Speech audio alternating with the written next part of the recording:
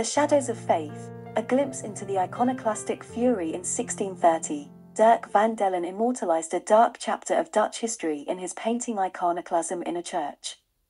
The artwork captures the tumultuous events of August 1566, when fanatic Protestants, fueled by religious fervor, unleashed their wrath upon symbols of Catholicism throughout the Netherlands.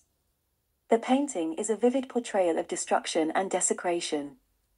A man precariously perched on a ladder has looped a noose around the neck of a saint statue. Below him, three men stand ready to pull the sacred figure from its pedestal, an act symbolic of their rejection of Catholic idolatry.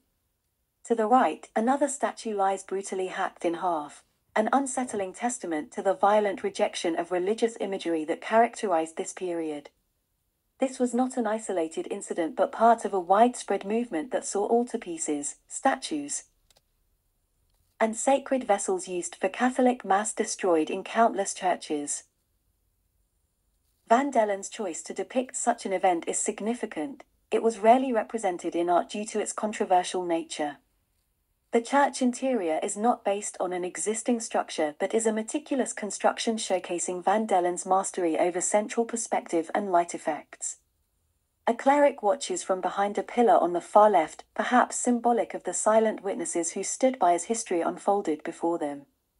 The dramatic interplay between light and shadow underscores the tumultuous emotions at play during this pivotal moment when faith and fury collided.